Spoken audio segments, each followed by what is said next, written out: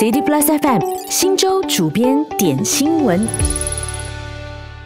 霸凌事件时有所闻，虽然说校方啊、教育部或者是各方呢都一直想要去杜绝，但似乎还是需要更加的努力的。因为最近在梅里那边就发生了一宗的霸凌事件，那一名十三岁的少年，他就看到他的朋友偷东西，就去举报他，结果就惹来他的朋友不满了，而且还叫上其他的人哦，就是一起的在一个空房子里面去围殴这名少年，而且呢，整个过程啊还被拍摄下来，那可以看到的。就是呢，这名少年他被围殴的时候也是不敢反抗，只是蹲在那边默默的哭泣。其实，在这个事情发生之后，我比较想要就是说我看到的一个点，就是说这个其中一个打人者就是去霸凌这个少年的这个嫌犯的父亲，他主动去向警方报案。就是说，这个父亲的举动是什么？他不是在事情发生之后，就是他看到儿子涉案的同时，他并不是第一时间站出来保护这个孩子。就是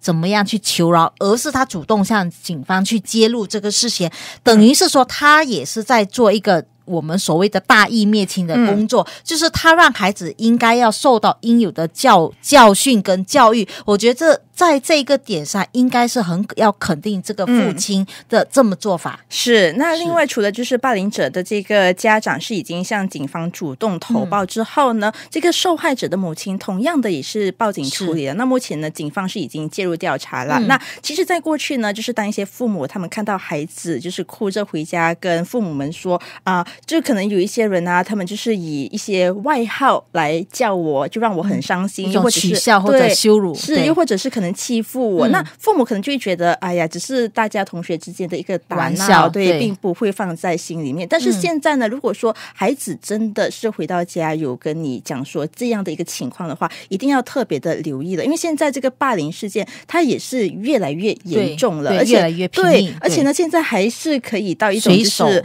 拍摄，就是用。那个手机来拍下 video，已经进阶到这样一个程度了。那么就是我们再说回这个 case，就是这个十三岁少年被打了。那么我自己心里面就有一个怀疑，就是是当他因为他被打嘛，肯定身上是有一些伤势。那么他回到家的时候，除非是他隐藏的很好，不然的话，应该父母是有关注到他今天可能情况有一点不一样，或者神色有异。那么我们再讲到说，现在孩子很多可能在学校会有。面对各种各样的问题，那么这个就又关系到这个，就是父母跟孩子，就是所谓的亲子之间的沟通。是，那么就是你在作为父母，你是不是有跟孩子说，无论你在学校或者平日上你遇到什么样的问题，你都应该要跟父母沟通，就是要把它说出来。就是说，你不时都要告诉孩子，不管怎么样，就是父母一定会跟你一起面对这种情况。是，就是要让孩子知道呢，无论发生什么事，父母。还是会保护他们，还是会为他们，就是啊，去看顾他们这样子的。我不敢说保护，因为可能就是说有一些情况可能是孩子犯错嘛，那么就是要让孩子说去面对。你你面对到你的问题，嗯，是。那其实呢，从这件事情，我觉得我们可以去探讨的就是啊，如果你真的是看到有人在霸凌同学的话，会怎么做呢？你敢不敢举报？因为可能有一些人害怕说，如果我去举报的话，下一个搞不好被对付的就是我了，所以我就会当着嗯，我不知道，我假装没有看到，我什么都不知道，不关我的事，会不会？那么这种情况，当然我们是不希望看到的。那么如果说像这个校园，这个就是有这个霸凌的事件的时候，我觉得学校教育是非常的重要了。就是说，你的老师们跟学校，你是怎么灌输这个孩孩子？就像我们在我们在一些呃外面的处理一些事，我们都有所谓的保密条款嘛。是。那么在这个。霸凌事件上，我们是不是应该也要保护这一个揭露者的身份呢？嗯哼，是。那另外呢，其实我们知道的说，就是现在这个科技是非常的发达，像这种霸凌的视频呢，应该都是经常是会看到的。